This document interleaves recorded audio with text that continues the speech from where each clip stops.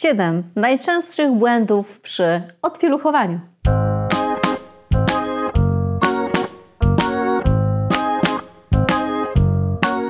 Jeżeli jesteś rodzicem, przed którym stoi zadanie odpieluchowania, to koniecznie obejrzyj do końca.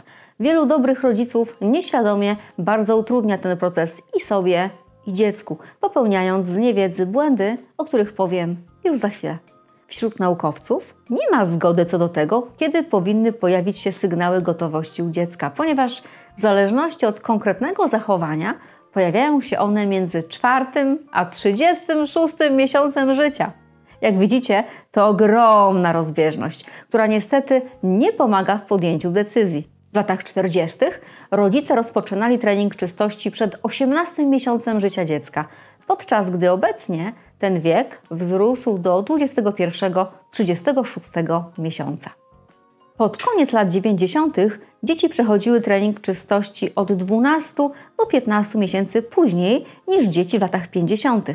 Badacze sugerują, że obecny trend późnego odpieluchowania wynika ze stosowania pieluch jednorazowych, pracy rodziców poza domem i mniej czasu, który mogą poświęcić na trening czystości, a także tendencje rodziców do bardziej liberalnego podejścia do kwestii toaletowych dzieci. Pomimo wielkiego udogodnienia, jakim jest pieluszka jednorazowa, warto wiedzieć, jaki jest jej skład chemiczny, ponieważ jest to substancja, która bezpośrednio dotyka delikatnej i wrażliwej skóry dziecka. Otóż warstwa zewnętrzna pieluszki to porowaty polietylen o małej gęstości, uzyskiwany z ropy naftowej, około szklanki na pieluszkę. Wnętrze pieluszki to mieszanka chemicznie przetworzonej i bielonej chlorem miazgi drzewnej z poliakrylanem sodu. Jest to bardzo chłonna substancja chemiczna zamieniająca wilgoć w żel oraz wodoodporna wkładka, która powoduje brak wentylacji w pieluszce. Powszechne jest również dodawanie bardzo uczulających sztucznych substancji zapachowych oraz barwników do tworzenia kolorowych aplikacji. Dlatego właśnie wielu rodziców, mając na uwadze dobro dziecka, podejmuje próby odpieluchowania, ale nie zawsze są to próby skuteczne. Dlaczego tak?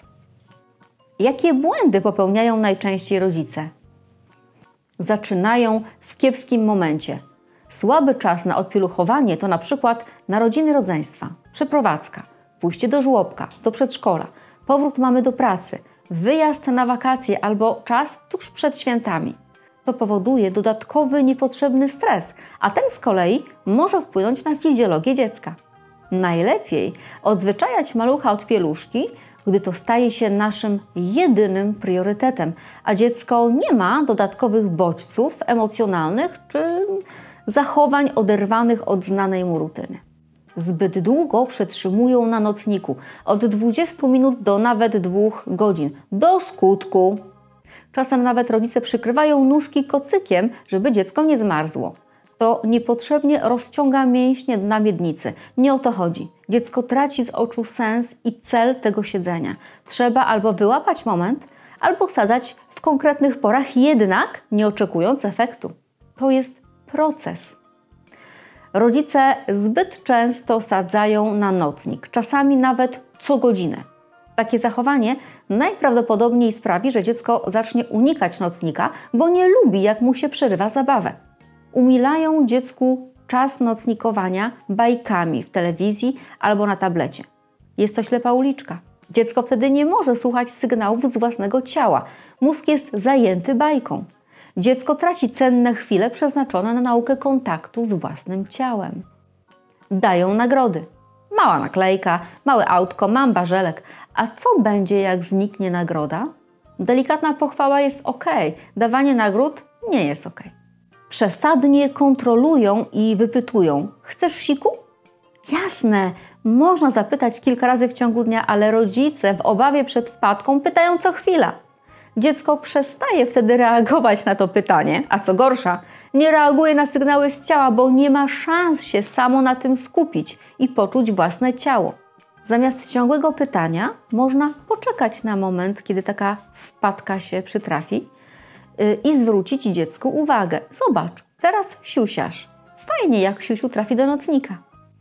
Niektórzy rodzice obrażają i zawstydzają dziecko. Mówią na przykład brzydka dziewczynka, siusia w majtki, a fe, kupa w majtkach. Taki duży chłopiec, a robi pod siebie. Mają nadzieję, że to zmotywuje dziecko do szybszej nauki. Jednak to akurat nie pomaga w nauce kontroli mięśni. Dziecko często ze strachu przed zawstydzeniem i takim komentarzem wstrzymuje wypróżnianie. I kończy się to lękiem i bólem oraz może prowadzić do zaparć.